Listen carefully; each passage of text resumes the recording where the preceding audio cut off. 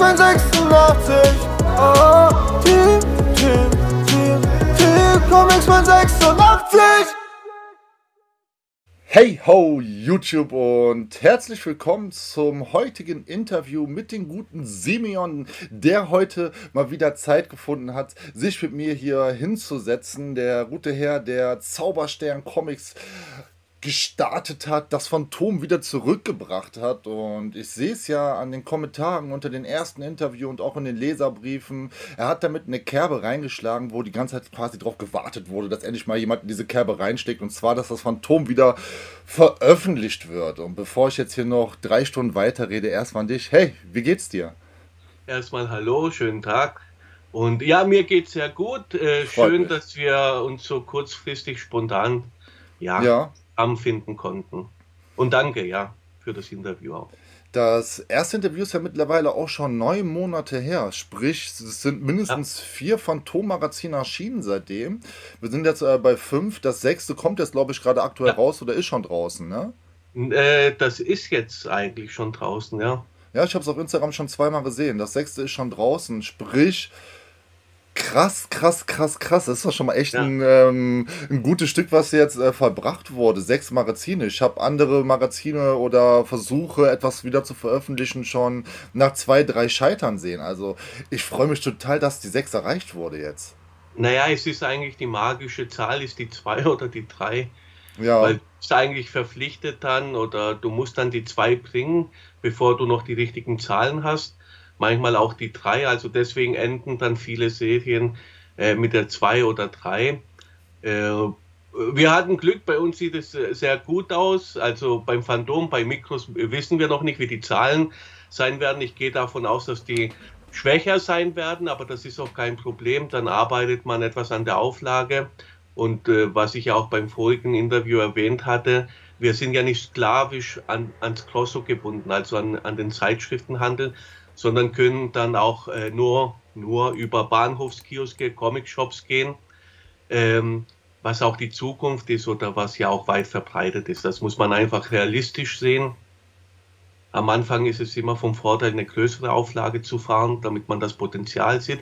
Und dann hat sich angeglichen. Ja, im Grunde genommen kannst du Grunde danach irgendwann mal sagen, okay, ich mache jetzt die Hälfte der Auflage und habe fast die gleichen Abverkäufe wie bei der Startauflage. Das sind Erfahrungswerte, ja.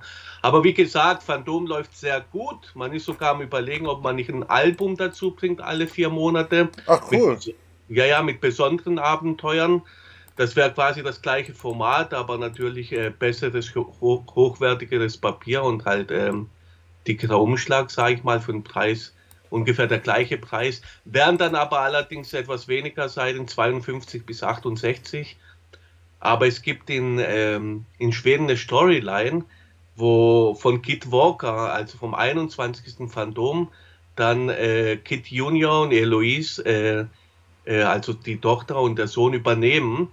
Und zwar verschwindet ja. dann das 21. Phantom und die machen sich auf die Suche.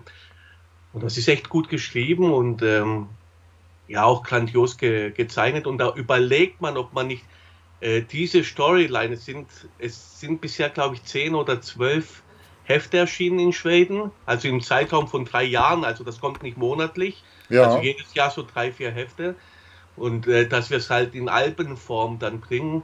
Aber sicher ist das nicht. Wir haben dann immer das Problem, weil viele Fans haben auch das Problem, halt, wenn ein Cliffhanger da ist.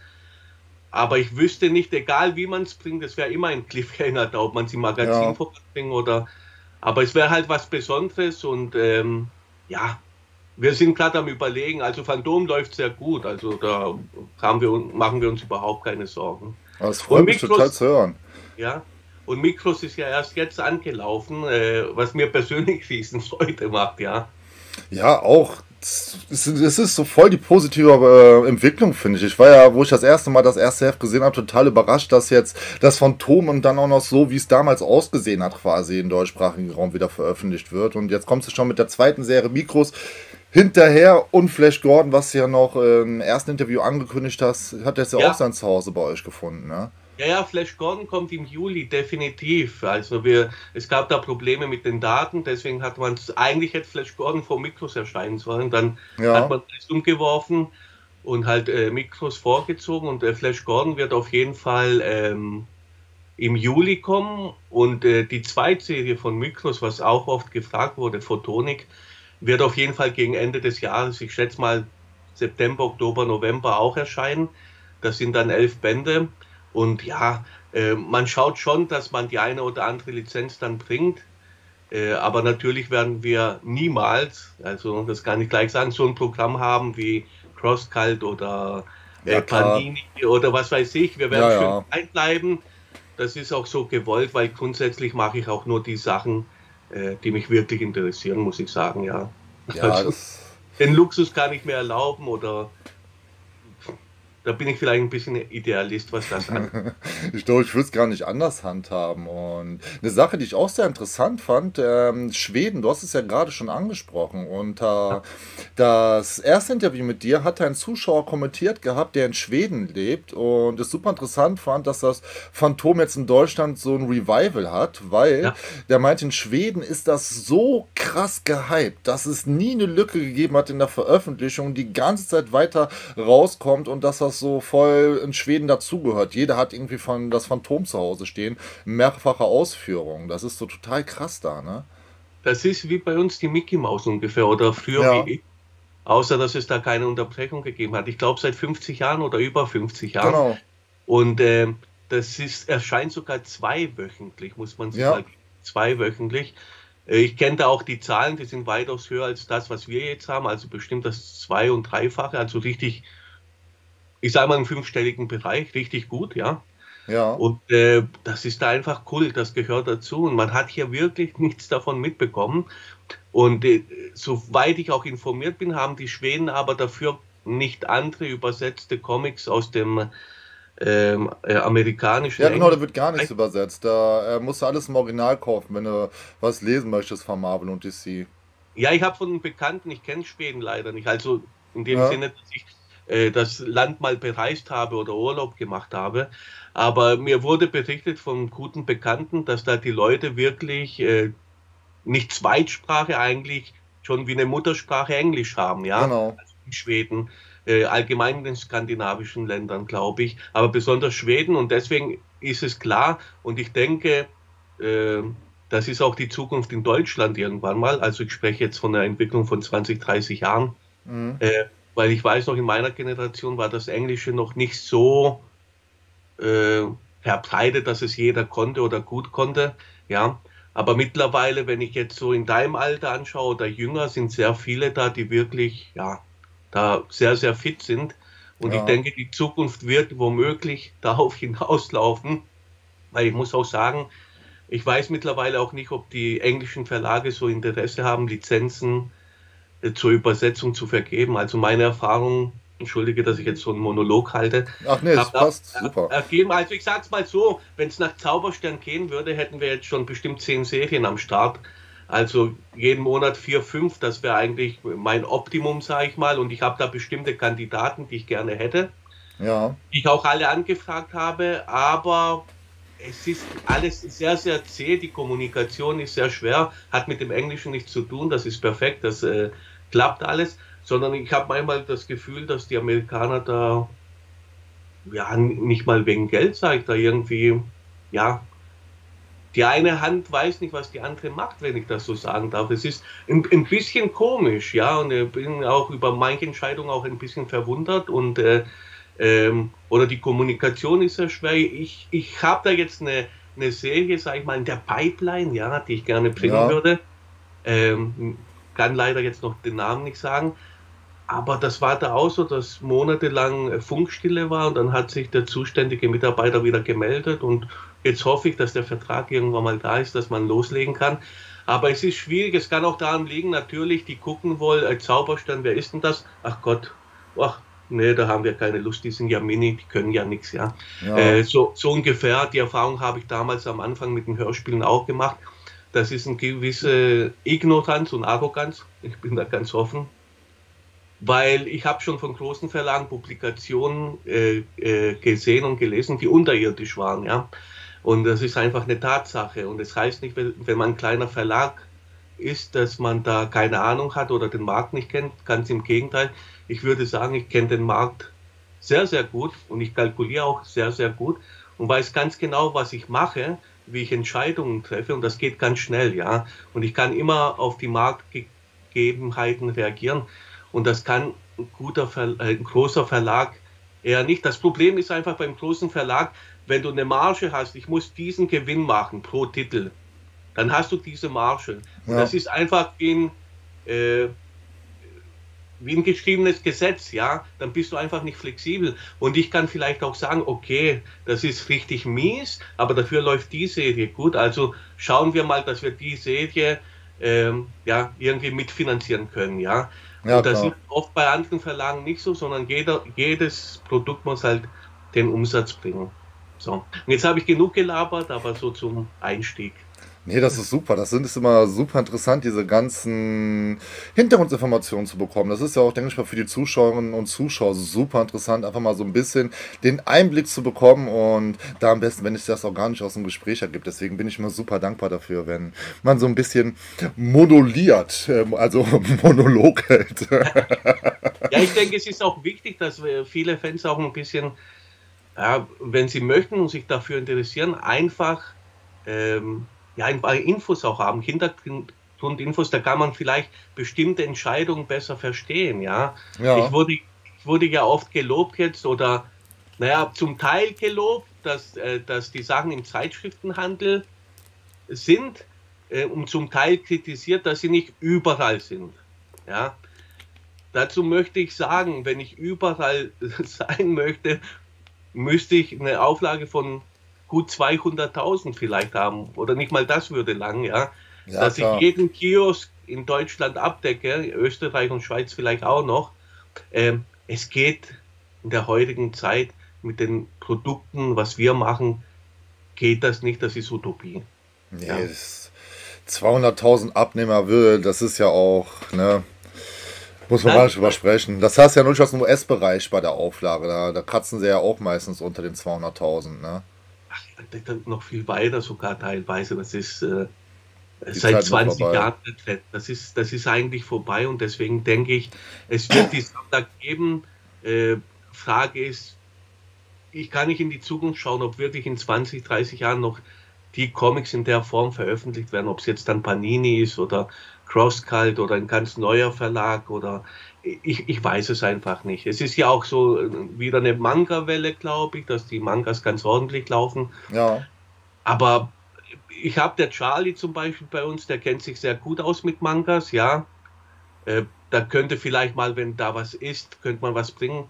Ich selber äh, kann damit nichts anfangen, also nicht falsch verstehen, das ja, Medium finde ich toll und alles, ja. Und ich habe mich versucht da reinzulesen, aber es war bisher kein Stoff, der jetzt äh, mich so interessiert hätte oder es ist einfach nicht so meine Welt.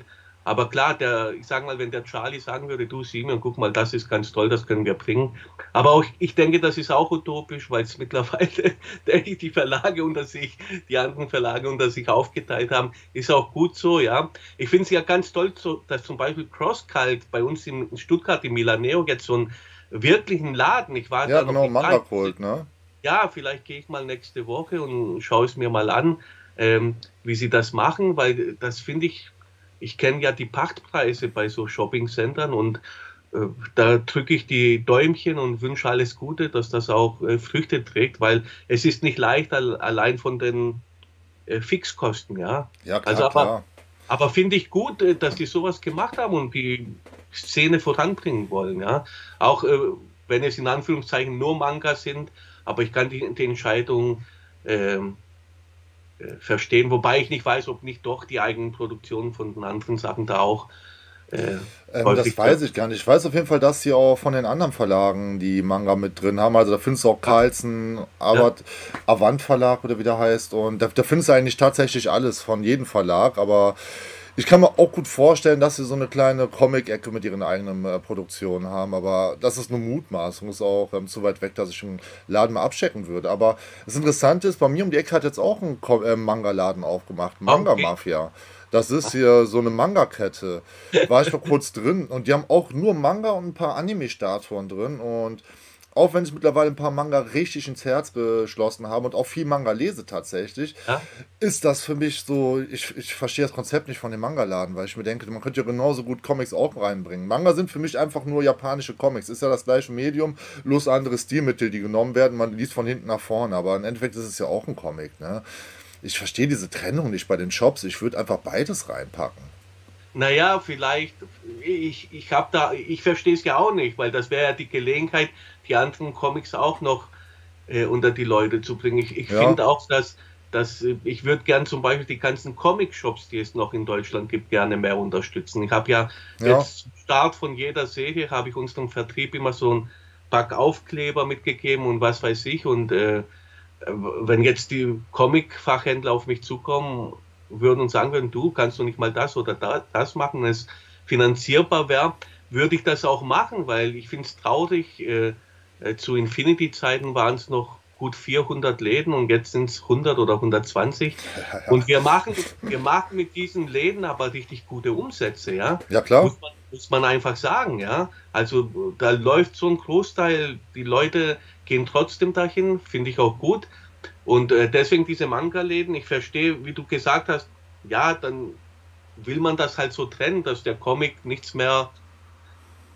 Also als ich mal im Krankenhaus war und behandelt wurde, ähm, hat eine nette Physiotherapeutin zu mir äh, gesagt, sie will so, es wurde ja empfohlen, Graphic Novels zu lesen, ja, aber sie kann damit eigentlich nichts anfangen, sie weiß nicht, sie macht das da, sie wusste nicht, wie lesen ja. Habe ich so ein bisschen erklärt, wie man das liest, habe dann aber gesagt, äh, was, oder sie hat gefragt, wieso das so heißt oder was das ist. Und da habe ich eigentlich gesagt, es sind eigentlich, eigentlich ist, ist ein Comic, ja. Ja, ja. ja ist einfach nur ein neuer Begriff. Ja, ein bisschen äh, hübscher aufbereitet, ja, ja. vielleicht Hardcover oder was auch immer. Oder ein, ein, ein äh, nicht unbedingt Superhelden-Thema. Ähm, äh, äh, aber es ist ein Comic, ja, und dann habe ich halt auch gesagt, wenn man wirklich ein Leben lang nichts damit anfangen kann, ist es schwer, da einzutauchen. Ist auch jetzt noch meine Meinung, ja, also wenn, wenn du überhaupt nichts damit anfangen kannst, und äh, dann wird es schwierig. Ich ja, habe so viele Bekannte, die finden das cool, was ich mache, äh, und was ich, ob jetzt Hörspiel oder Comic, aber können mit den Medien da gar nichts anfangen. Ja. Das ist von mir genauso. Wenn, man, wenn, wenn mich Freunde besuchen kommen, die gucken mal so in mein Zimmer rein, sagen dann cool und ja, Punkt. So, die, also die finden dann eher krass, was für eine Masse ich angesammelt habe, aber die konnten damit halt auch gar nichts anfangen. Was ja auch der Grund war, dass ich schon mit YouTube angefangen habe, damit ich mit Leuten darüber rede, die damit was anfangen können. Ne, das ist ja so diese Sache. Ne? Das ist halt ein kleines Gebiet, gerade im deutschsprachigen Raum. Ich habe einen Cousin, der lebt in Spanien. Da ist das ja auch nochmal ein ganz anderes Thema, das Medium Comic. Da ist das ja auch nochmal viel krasser Mainstream drin. Und der war so voll verwundert, dass ich äh, mit Comics nur so wenig Leute auf YouTube erreiche. Meine ich, wenig Leute im deutschsprachigen Raum ist das schon recht viel. Ne? Er meinte so, was? Das kann ich gar nicht verstehen. Wenn du auf Spanisch reden würdest, du hättest Millionen Aufrufe pro Video. Ja, das ist, ist das so in Spanien? Weil ja. ich Comicmarkt überhaupt nicht, muss ich sagen. Ja, Im spanischen Comicmarkt ist riesig groß. Das ist so ein bisschen wie mit Frankreich oder in Belgien. Belgien, Belgien ist, ja. Belgien ist richtig krass. Ich war mit meiner Frau äh, in Brüssel gewesen und ja. wir hatten im Vorfeld so eine Dokumentation über Brüssel angeguckt und da waren sie auch im Comicshop drin und da meinte der, oh, wie ist dein Klientel hier drin? Und da guckt er die so völlig verwandert an und meint so, hier liest jeder Comics. Hier kommt es eher darauf an, was du liest. Nicht, ob du Comics liest, sondern eher, welche Genre Comics liest. Es gibt doch jedes Genre. Warum sollte man keine Schön, Comics lesen? Ja, der war so so, der war so völlig verwundert über die Frage, was für ein Klientel. Da denkt jeder, der hier vorbeigeht, ist mein Klientel. Der, ist der, Patenonkel meiner, wir gehen jetzt in die, in die 70er zurück, Anfang der 80er. Ja. Ähm, der Patenonkel von, ähm, äh, von meiner Schwester, ähm, den haben wir dann, ja, man hat sich immer so sonntags gegenseitig besucht. Wir hatten damals sogar kein Telefon, also überhaupt kein Telefon. Ich meine ja. jetzt kein, sondern Festanschluss. Und dann hat man halt immer sonntags so Spontanbesuche gemacht bei den ja. Verwandten. Bekannten. Und dann sind wir äh, zum Patenonkel meiner Schwester gefahren und damals hatte ich gerade angefangen so Speit, also die Spinne, die Spinne, ja, Spider-Man sammeln. Und ähm, das war 80 oder 81 oder war ja. es 79? Ich weiß es nicht mehr. Ich bin ja damals eingestiegen, wo Gwen Stacy quasi äh, bei den Publikationen beim Williams Verlag äh, ja. umgebracht wurde vom grünen Kobold. Und das war damals für mich, oh, was, oh, äh, da stirbt ja eine Hauptperson, das kann ja gar nicht sein. Auf jeden Fall, dass ich zurückkomme, wir haben den guten Mann besucht und da lagen äh, Williams Comics rum. Ja, der ja. hat sie gelesen und der hat sie gesammelt. Ja, weil ich dann gehofft habe, dass ich am Ende, weil damals war es halt so bei den älteren Griechen, sage ich mal, die waren damals so um die 50, ja, also äh, leider lebt er nicht mehr, äh, wäre jetzt weit über 90, der hat das wirklich gelesen und gesammelt. Das war eine ganz große Ausnahme, weil ich ja. habe da niemals in der Generation jemanden je wieder kennengelernt, der das gel gelesen oder gesammelt hat. Ja? Also in Griechenland ist eigentlich, äh, was, äh, was Comics angeht, ein düsteres Feld eher. Ja? Da gibt es ein, zwei kleine Verlage, die super Publikationen machen, aber da wird es auch immer enger, sage ich mal. Ja? Aber gut, dass ich das über Spanien weiß. Ja, das ist, also Franco-Belgisch weiß ich ja, dass das da ja. sehr, sehr ausgeprägt ist. Und deswegen ähm, Clever und Smart zum Beispiel kommt aus Spanien. Ja, genau. Ähm, und ähm, die Spanier machen sich über die Übersetzung lustig. Clever und Smart auf Deutsch kannst du wohl komplett in die Tonne kloppen. Der Humor, der lässt sich wohl nicht übersetzen. Ich bin nie mit denen warm geworden. Ich kann es nicht beurteilen, wie lustig die deutsche Übersetzung ist, aber. Also ich fand es früher lustig, die heutigen, ja. Ich, ich habe sogar fast alle von Musik. Ich bin, ich bin ein clever und smart Fan, habe ich gerade. Ach krass. Ja, ja. Ich, ich weiß Nein, nicht, wie gut dein Spanisch ist. Lese mal auf Spanisch glaube, ich würde da nicht so viel verstehen, aber ich kann es probieren. Ja, jede Sprache zugute, ja. Ähm, nein, es ist ja auch jetzt den Humor, den du ansprichst. Ich habe jetzt bei Mikros, äh, es, es ist wirklich was anderes, wenn du vom Englischen ins Deutsche übersetzt, als vom Französischen ins, ins Deutsche. Erstens ja. hatte ich da irgendwie viel weniger Text, ja, beim äh, und ich hatte ja jetzt durch das Magazinformat mehr Platz in Sprechblasen. Ja. Und äh, habe dann einiges noch dazu gedecht, getextet oder versucht interessanter zu machen. Boah, das ist ja voll der Vorteil, da habe ich noch gar nicht drüber nachgedacht. Du kannst die Sprechblasen ja ganz anders nutzen. Beim das ist Phantom, ja oft ein Problem, ne? Beim Phantom nicht, weil beim Phantom ah, okay. hat er ja einen großen Rand. Aber, aber bei Mikros schon. Und ich dachte, das wäre jetzt äh, zum Vorteil, weil es beim Phantom doch immer eng wird, weil ich dann doch äh, anders Texte womöglich, wie es andere Übersetzer machen. Ich bin ja nicht ja. der üb übliche Verdächtige, sondern der Charlie übersetzt eigentlich vor ja. und ich bearbeite die Texte noch. Und wenn mir etwas nicht gefällt, wo ich denke, das passt gar nicht rein, dann ändere ich es auch einfach, damit es ja. einfach dramatischer klingt oder besser klingt oder besser passt zu der Story. Ja. Da hatte ich jetzt bei Phantom 6 zum Beispiel eine Sache, ähm, ja, möchte ich hier jetzt nicht verraten, aber es passiert am Ende etwas, ein Geheimnis wird enthüllt, was im, denk dran, wenn du das liest, ja, also die ja. Nummer 6, am Ende wird ein Geheimnis enthüllt, was im Original nicht so ist. Ich fand es aber irgendwie dramatischer dann, ja.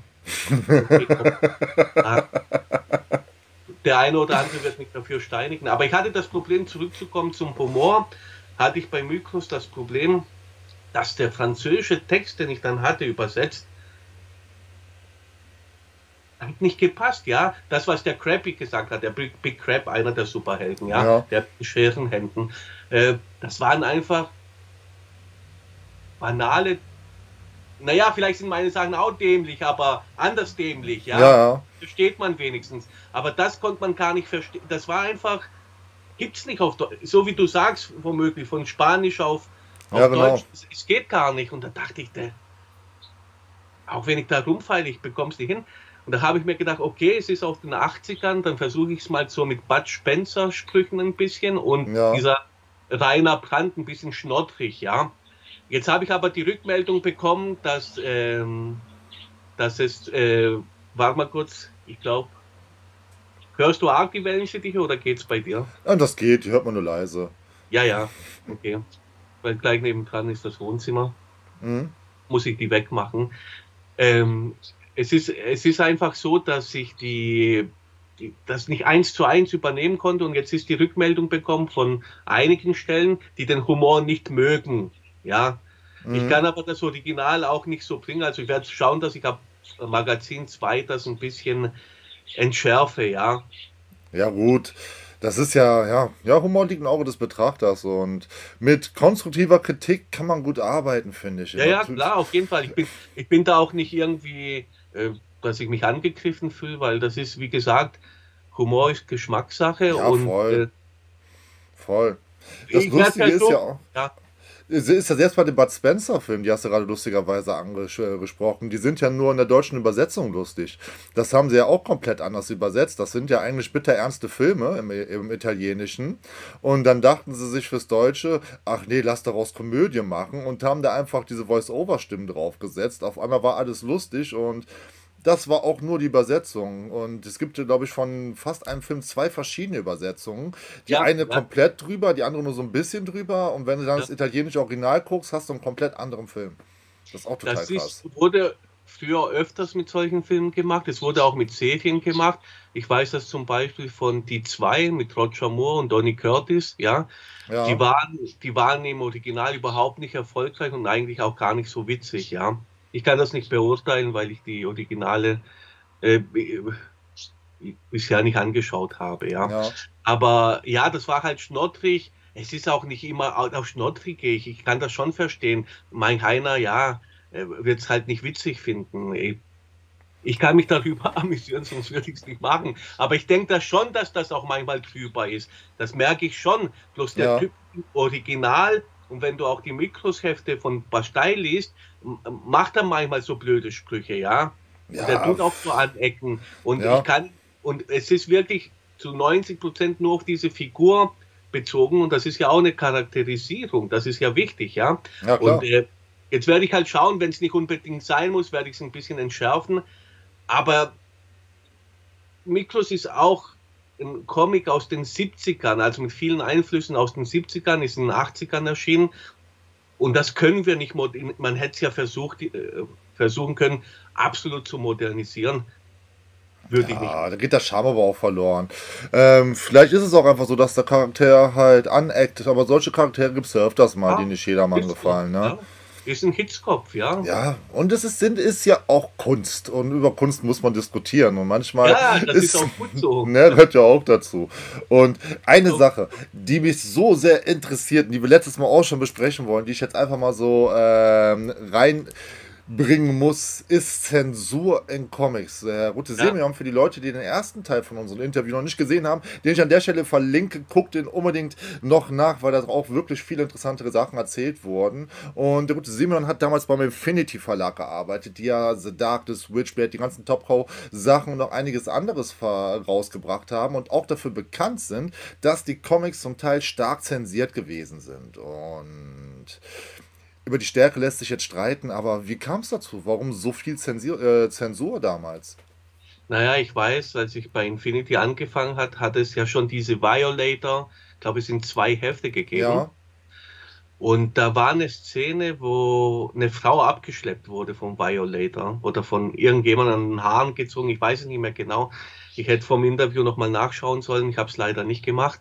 Ähm, es war eine Szene mit einer Frau, die halt wie eine Vergewaltigung aussah und äh, das hat ein paar Leute gestört, die das gemeldet haben und daraufhin wurde der Verlag also Infinity angezeigt und es ist wirklich auch zur Gerichtsverhandlung gekommen, ja. ach krass, das wusste Ja. ich gar nicht. Krass. Ja, ja.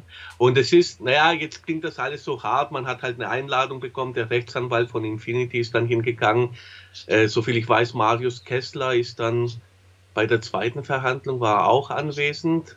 Der hat uns dann davon berichtet. Ich möchte jetzt nichts, also ich gebe das Ja, jetzt, was ich so im Gedächtnis habe, wieder. Im Grunde genommen war es da, die Anzeige wurde dann fallen gelassen, äh, weil äh, die Richter nichts mit dem, die konnten, die haben das nicht verstanden, um was es da überhaupt geht. Ach, Ja, letztendlich ist das rausgekommen, haben es gar Ja. nicht geblickt, sage ich mal, auf Neudeutsch. Ja, um was geht es da, was ist. Aber es wurde angezeigt und ähm, ähm, kurzer Einwurf. Ich hatte auch ein Erlebnis, wo ich mal auf einer Hörspielmesse am Stuttgarter Bahnhof war. Da wurde die Hall- Halle genutzt, das war 2009, ähm, konnten sich Hörverlage präsentieren. Und da hatten wir einen kleinen Stand und da war eine Mitarbeiterin dabei, die Sabine. Und dann haben wir halt kostenlos Hörspiele verteilt. Wir hatten Festbestände, die haben wir verschenkt, ein paar Flyer, Aufkleber und so weiter. Und das ging einen Tag, von morgen um 9 bis abends um 18 Uhr. Und da, kurz davor waren diese schreckli schreckliche Amoktat in Weiblingen bei uns ja. Das ist ja Winnenden Weiblingen, ist ja hier Mhm. 30 Meter entfernt. Und ähm, da ist ein Typ aufgetaucht zum Ende 50, Anfang 60 damals, ich war 39. Und äh, der hat uns die Hölle heiß gemacht am, am Stand. Das kann man sich nicht vorstellen. Ich bin schuld, ich bin schuld, dass der Typ, also er hat wirklich so auf mich gezeigt, Ach, krass, Sie sind schuld, ja. Sie sind schuld, Sie und Ihre Familie, Sie sind schuld, ja, wirklich. Und da waren mit der Nähe Polizisten und irgendwann mal habe ich die hergerufen, die sollen mal schauen, dass der verschwindet. Ja, vor allem in solchen Fällen kommt danach doch immer raus, dass diese Leute schon tausendmal vorher auffällig gewesen sind und dass eigentlich alle Instanzen schon gewarnt gewesen sind und keiner reagiert hat.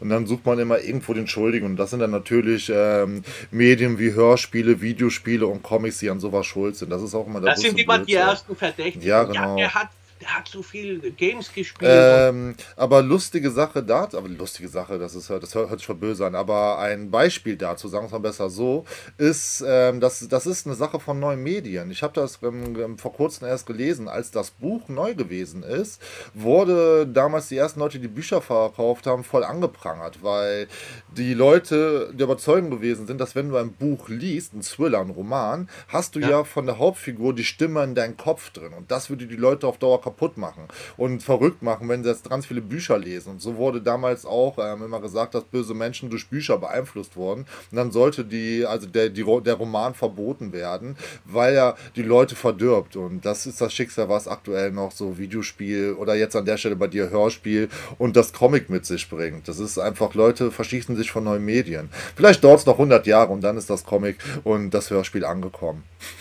Naja, gut, äh, wie gesagt, so Sachen sind ja, wir haben schon ein Problem mit den Medien und mit, den, mit der ganzen Gesellschaft eigentlich, wie sich entwickelt. Ja, also die Verrohung der Gesellschaft, das ist schon ein Thema. Das kommt aber nicht von Comics oder auch von Games, sondern äh, von den Menschen selber, so wie wir heute miteinander umgehen und so wie wir miteinander leben. Das ist ein Problem, was bestimmt die nächsten paar Jahre auch mehr in den Vordergrund gehen wird und auch ähm, darüber diskutiert oder geredet werden muss. Aber das ist ein anderes Thema. Das ist ein komplett anderes Fass. Das wäre das wär, wär schon tiefgründig. Es geht eigentlich gerade um Zensur.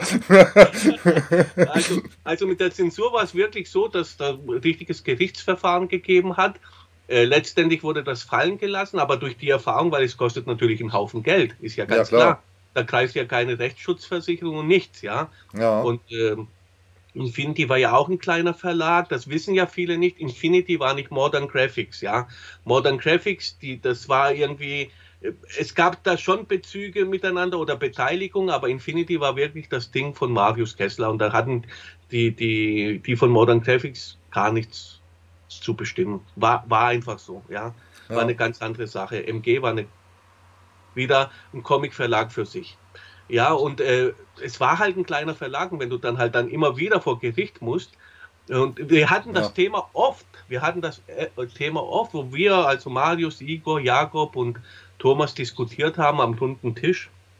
Den gab es wirklich.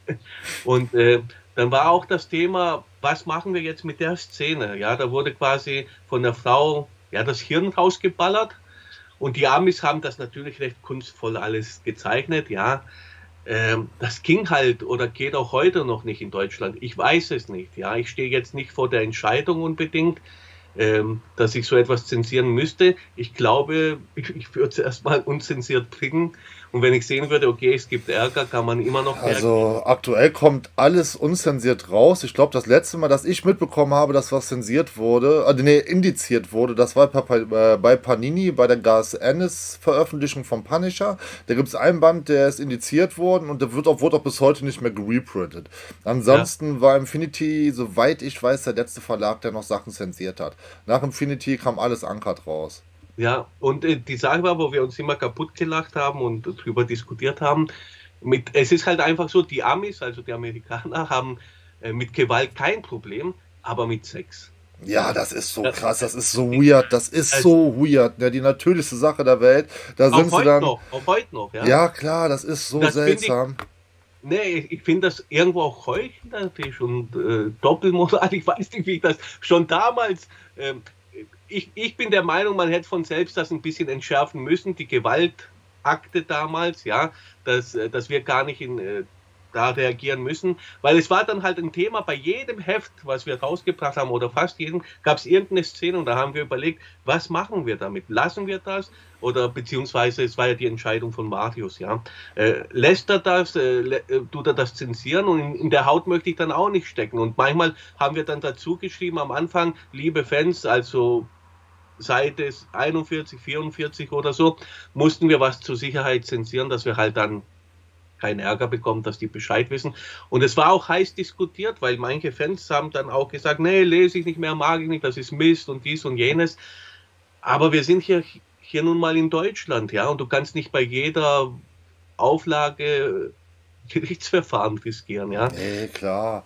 Also ist, es ist trotzdem super ärgerlich, auch aus meiner heutigen Sicht. Ich bin ja gerade so ziemlich alles am Nachkaufen, was damals bei Infinity erschienen ist, weil dem Verlag hat es genau in der Zeit gegeben, wo ich nichts mehr mit Comics zu tun hatte. Ich habe halt in der Kindheit bis zur frühen Jugend, dann als ja. Jugendlicher aufgehört und als Erwachsener wieder angefangen und in der Zeit hat, ist der Infinity Verlag gekommen und wieder pleite gegangen. Das ist irgendwie genau so also die neun Jahre quasi, genau. Ja, genau. Jahre, das ja. war meine Comicpause, genau diese neun Jahre Infinity. Schade, aber aber gut, ist halt manchmal so. Ja. Äh, ich habe ich hab ja jetzt auch, ich habe vor kurzem auch mal einen Bericht gelesen, wo, wo wir Bilder sogar drin haben. Ich glaube, Topco äh, Sonderheft 2 ist das, ja. wo der Comic-Salon in Erlangen war. Da gibt es noch alte Fotos vom ganzen Infinity-Team. Ja. Und die Jacke habe ich sogar noch, die graue Jacke. Ich sage mir, wenn man nächstes Jahr nach Erlangen geht, ähm, sollte ich die vielleicht anziehen? Ich weiß. Mal einen Tag. Nein, es war, es war eine klasse Zeit, eine wunderschöne ja, und die Qualität, ne? Also ich kaufe ja alles gebraucht davon gerade, weil ich das ja verpasst habe. Und die Hefte sind alle in Top-Zustand, weil die Pappe so dick war von den Covern. Und das war echt eine krasse Qualität, die Infinite damals gebracht hat. Aber was mir in der Seele wehtut, ist die Zensur, ne? Weil es hat ja. bei mir immer diesen Beigeschmack. Immer wenn ich da drin irgendeine brutale Szene sehe, gucke ich, dass ich irgendwie das US-Heft noch parallel dazu am Start habe und dann den Vergleich anziehe, äh, angucke und für den Moment kann ich es total verstehen. Ich hätte auch keinen Bock auf die Gerichtsverhandlungen zu sein, was nur so schade ist. Es ist eine Veröffentlichung, die jetzt für ewig auf dem Markt ist und leider ja. immer zensiert. Ne? Du, du, musst ja auch bedenken, dass wir jetzt, ich glaube, bei, bei uns wird es auch weniger jucken, weil wir kleinere Auflagen haben und kleinere Abverkäufe. Aber Infinity habe ich ja mal gesagt, bei Sporn wurden über 30.000 Exemplare, ja. mindestens die ersten paar Jahre im Monat verkauft.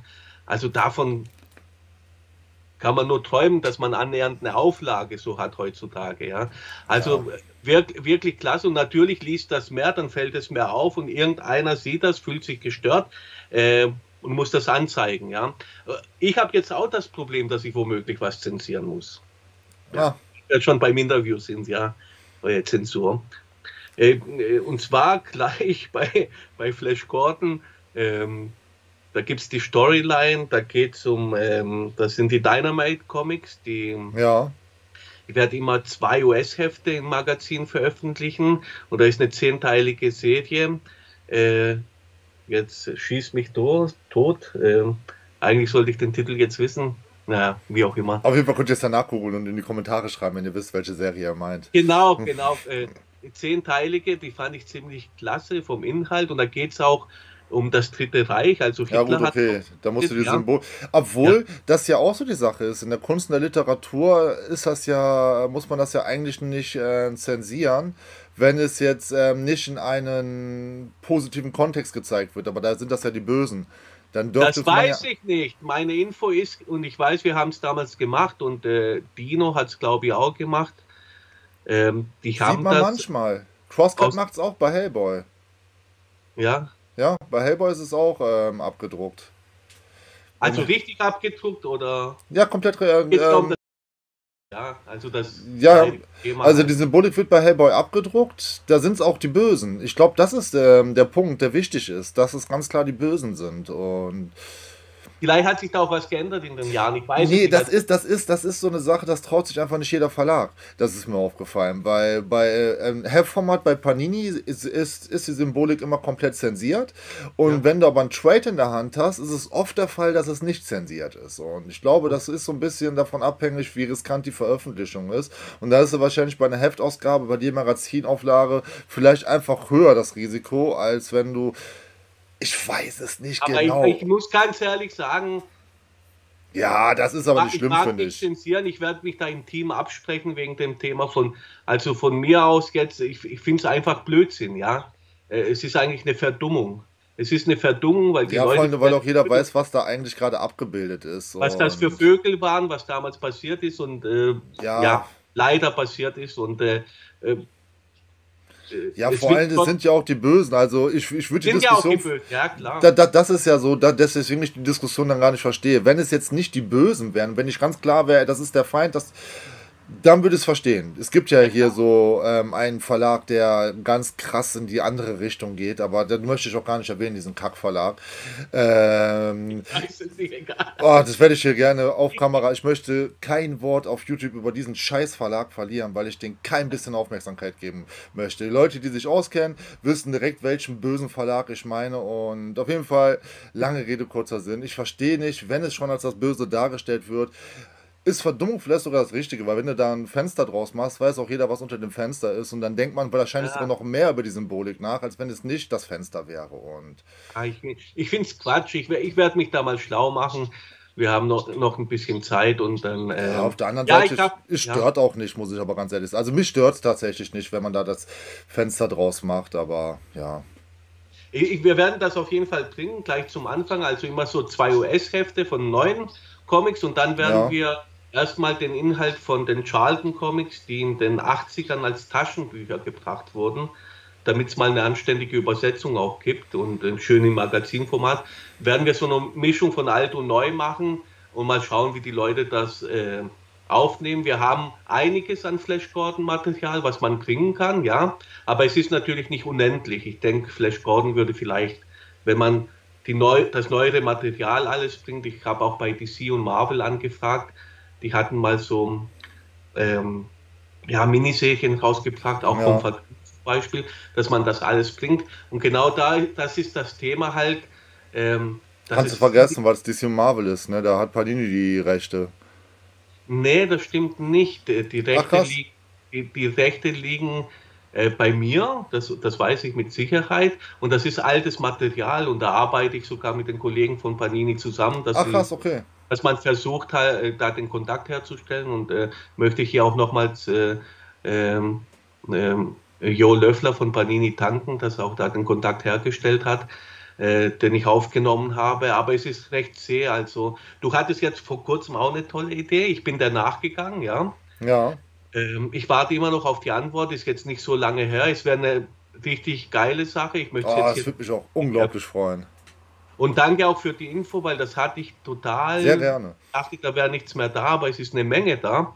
Allerdings würde ich sogar auch die alten dann veröffentlichen. Weil ja, das würde ich genauso machen. Würde ich auch ganz. Das, das Problem ist einfach, wenn du mittendrin dann anfängst, ja, dann steigen zu wenige auf und die ganzen Leute müssten ja das alte Material nachkaufen, ja. aber da möchte ich mich jetzt auch nicht verraten. Also lasst euch überraschen, wenn das was wird. Oh Gott, dann, dann, dann ja, das wäre ein Traum, das wäre ein Traum, auch besonders ja. für mich. Aber ähm, wie gesagt, es ist sehr, sehr zäh. Und äh, es liegt wirklich nicht an den Angeboten. Ja, es liegt nicht am finanziellen, dass, dass man denkt, ja, ja, der wird ja nicht so Angebote machen können. Äh, auch die andere Sache, wo ich dir erzählt habe, ja. Bühnen, sage ich mal, ja, ähm, also. Das war, das war ausgefeilt. Ich saß wirklich sehr lange da und habe ein richtiges Konzept vorgelegt. Und die Zahlungen waren, sage ich mal, ja, also. Auto, Luxus, Oberklasse schon fast, ja. Ja, ich durfte da so ein bisschen hinter die Kulissen schauen, so für die Zuschauerinnen und Zuschauer an der Stelle. Und ist schon krass, was das, äh, wie das so alles funktioniert. Und. Aber ich, ja. ich denke denk einfach, das Problem, was ich oder Zauberstern, was wir haben, ist einfach, dass wir noch relativ neu sind und die Amis. Äh, ja, wir müssen euch noch etablieren. Ne? Wollen aber nicht anerkennen. Es ist ja nicht so, dass wir klein sind. Also wir sind schon klein. Aber ich meine, äh, Zauberstern bzw. RB Company oder mich als Selbstständigen gibt es ja seit äh, gut 20 Jahren. Ja? Ich meine, ich habe einen Haufen Hörspielproduktionen mit äh, großen ja. Verlagen. Äh, wir reden hier von Kittings und äh, ähm, Larry Brand und alles, was ich dann auch äh, rausgebracht habe. Und äh, Faith Van Helsing, wo sich jetzt größere Verlage sogar drum kümmern. Und ähm, das ist einfach ein bisschen eine Ignoranz, ich weiß es nicht. Es ist einfach, ja, die anderen sind präsenter und dann denkt man, okay, ich kenne jetzt den, der soll es halt machen. Wobei ich auch immer als Lizenzgeber schauen würde, auf was haben sich die Jungs oder Mädels spezialisiert, ja. Aber egal, das ist äh, so, so ein großes Thema. Ja. Äh, der Konsument kriegt das nicht mit. Ich fand es nur schade, weil ich fand das Konzept, was ich da hatte, war ein richtig ja, ich hätte es auch super interessant gefunden und ich habe es auch schon geschrieben, ich hätte davon restlos alles lesen wollen. Ich hätte mir am liebsten die Wand damit tapeziert, aber. Aber warten wir mal ab. Ich freue mich auf jeden Fall, was die Kollegen dann irgendwann mal machen werden. Ich werde auch ja, schauen. Und äh, wie gesagt, die anderen Sachen sind noch am Laufen. Das sind, äh, was ich nicht verstehe, André, ganz ehrlich, es gibt da Sachen, äh, die seit 20, 30 Jahren keiner angerührt hat. Ey, und wenn man da nicht reagiert, verstehe ich das vom, vom unternehmischen, vom, von unternehmerischen Geschäftssinn. Ich verstehe das, ich kann das nicht verstehen. Egal, wenn man denkt, der ist klein oder nicht klein, ich gebe auch immer Referenzen an. Die Leute können bei diesen Leuten, die meistens von größeren Verlagen kommen, anrufen, sich über meine Person und über mein Unternehmen äh, schlau machen, sich ein, Bild bilden, sage ich mal, ja, wird auch manchmal angenommen und dann weiß man doch, okay, der ist seriös oder der hat das und das gemacht und ja, ich glaube, so weit denken die gar nicht. Ich glaube, das ist einfach diese amerikanische Sicht auf Europa, weil die denken sich dann, Serie XY kommt doch schon in Frankreich. Dann ist doch, wer, wer ist dieser Deutschland? So, und dann ruft Ich glaube, das ist eher das wer, Ding. Wer ist dieser Deutschland?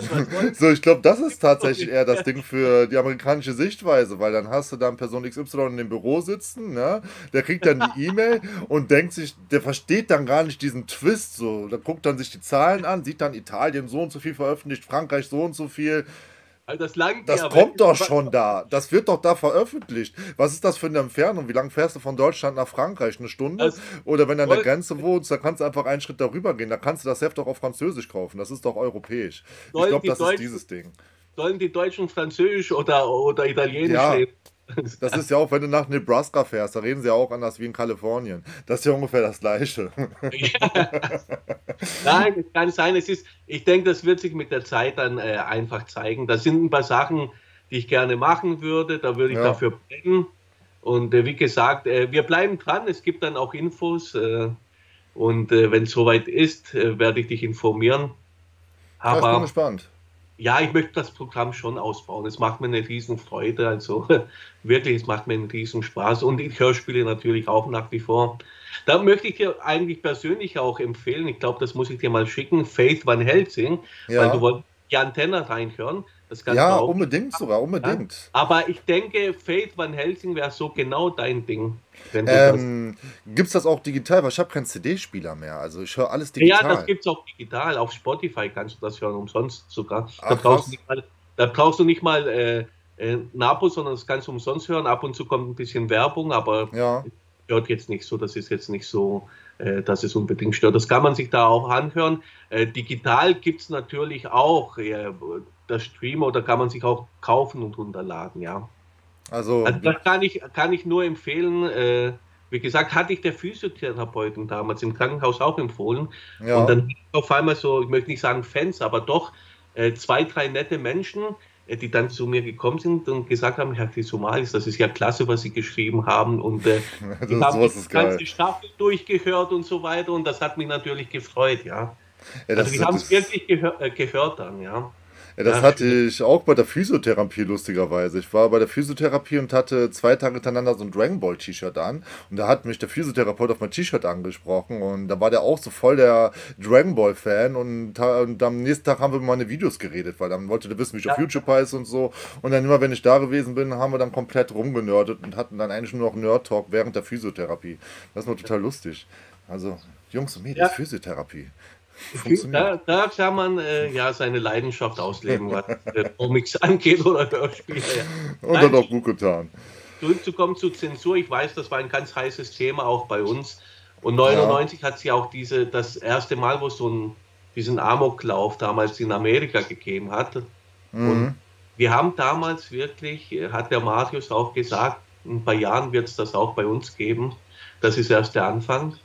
Also das haben wir sehr, sehr ernst genommen und ja, klar, das ist halt auch mal ein bisschen Zeitgeschichte, gerade wenn das so ein Verlag aus der Zeit rum ist. Und ich kann es komplett verstehen. Ich hätte auch keinen Bock, da jedes Mal zu diskutieren und es ist ja. auch Diskussion wert, ob das einen Impact auf Leute hat. Also Jungs und Mädels, Leute, die das Video gerade gucken, schreibt das mal gerne in die Kommentare, wie eure Sichtweise darauf ist. Seid ihr der Meinung, dass zu unreflektiert gewalttätige Szenen in Comics abgedruckt werden?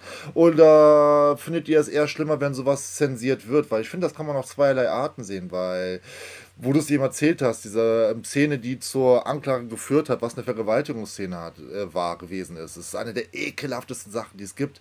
Und ich kriege bei solchen Szenen immer Bauchschmerzen. Das macht mir keinster Weise Spaß, sowas zu lesen. Zu ich, hatte, ich hatte das Problem auch, es wurde nicht zensiert oder so, aber ich hatte bei der ersten Faith-Folge hatte ich äh, eine Szene eingebaut, wo eine Frau in einer dunklen Gasse von zwei äh, Ganoven quasi überwältigt wird und die wirklich äh, ihr an die Wäsche wollen, ja.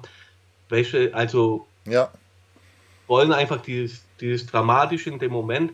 Und das hat sich dann aber herausgestellt, dass das nicht passiert ist und die Frau war eine Vampirin und hat halt den beide, hat die beiden platt gemacht, ja. Hat beiden platt gemacht. Und dann hatte ich aber dann auf, auf einer Messe, war ein, auch ein Fan da, der gesagt hat, er mag das zwar, aber die Vergewaltigung ging gar nicht. Und dann habe ich das war ein Jahr später oder so, habe ich gesagt, welche Vergewaltigung? Ich würde doch nie eine Vergewaltigung bringen. Ich weiß, dass es, ein, es gab auch Labels, die haben mal sowas in der Art gebracht, aber ich würde nie diesen Schritt gehen, weil ich es auch nicht für nötig halte und es ist einfach nee, Es ist auch einfach, ja, das macht nur Bau. Also, ja. Ich wollte einfach die Gefahr darstellen, dass sie, ja. ja, oh Gott, hoffentlich passiert da nichts. Es war klar, dass nichts passiert. Und weil, weil es die Szene ein bisschen zu lang ging vom Schnitt her, hat er wirklich gedacht, dass da eine Vergewaltigung zu hören war. Und das hat er ein paar Mal, und, das, äh, und ich habe es ihm erklärt, es war der gleiche Fan, es war auch der einzige, ja, den ja. ich in alten Jahren hatte. Ich habe es ihm wirklich vor Ort er, erklärt und jedes Mal, wenn er mich getroffen hat, hat er das gleiche gesagt. Und das ging mir einfach nach, weil ich würde nie, ja, ja. ich habe zwei Mädels, ich habe eine liebevolle Frau, eine Vergewaltigung darstellen, ja. Und äh, wie kann es denn sein, dass er denkt, dass diese Person vergewaltigt wurde, wenn sie danach die zwei Typen ausgeschaltet ja, hat und nichts passiert ist und sie eine Vampire Ja gut, das ist tatsächlich ist. komisch. Ja, und aber das, das gibt es auch und, das, und wenn sowas an die Öffentlichkeit kommt, sage ich mal, ähm, schlägt das auch manchmal Wellen, ja. Ja klar. Weil ich habe hab die Erfahrung gemacht, die zufriedenen Fans, ja, die melden sich nicht so großartig. Ja klar, das sind eher die Leute, die es hassen, ne? Das sind die Hater-Stimmen sind immer lauter. Ja, die sind immer lauter und dann löst man dann irgendeine Lawine aus, die dem gar nicht entspricht, was da äh, passiert ist. Ja. Also im Medienbereich, da muss man schon äh, sich einen äh, harten Panzer, ein hartes Feld zulegen, dass man da einfach drüber steht. Ja. Ja, und Jungs, Mädels nochmal aufgerufen dazu, schreibt mal in die Kommentare rein, was ihr meint. Werden Sachen zu unreflektiert veröffentlicht oder seid ihr der Meinung, alles unzensiert veröffentlichen? Weil das ist ja der nächste Punkt, das sage ich auch gerne in meinen Videos. Kunst muss an gewissen Stellen wehtun.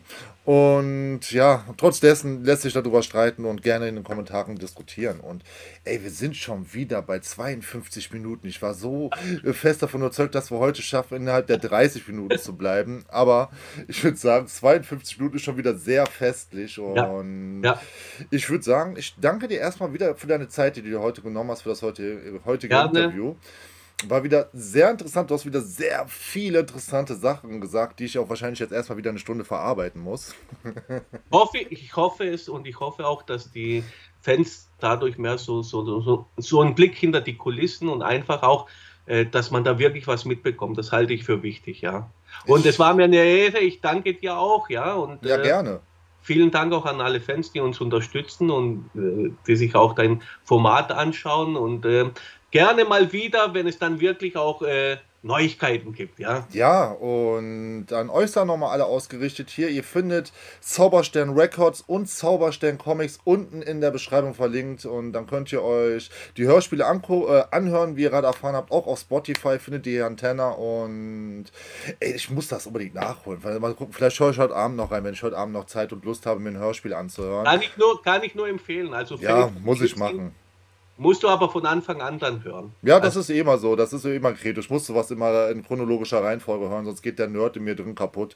Sonst habe ich Angst, was verpasst zu haben. Selbst bei Sachen, wo mir Leute sagen, ey, da ist die Reihenfolge egal, ich zieh's mir ah, trotzdem ja. chronologisch rein. Man muss ja die Entwicklung mitbekommen einer Serie. Also Larry, Larry Brand kannst du eigentlich äh, hören, wie du möchtest, kann ich auch nur ja. empfehlen. Ja, aber Faith ist wirklich ein Epos auf äh, 56 Folgen. Danach, geht, danach geht's weiter, aber das ist dann mehr so wie ein Reboot, kann man sagen. Ja, das habe ich dann aus der Hand gegeben. Für mich ja. war das abgeschlossen und jetzt kümmert sich der Maritim Verlag drum und das machen die auch äh, wirklich gut. Krass, werde ich definitiv reinhören und damit sind wir dann wirklich durch für heute. Wie gesagt, alles verlinkt in der Beschreibung. Jungs und Mädels, danke fürs Einschalten und auch danke an jede und jeden raus, die sich das Video jetzt hier tatsächlich bis Minute, wo sind wir? 54 und 40 Sekunden angeguckt habt. Und schreibt doch mal an ähm, Heidi Ho in die Kommentare rein, falls ihr bis jetzt geguckt habt. Haut da rein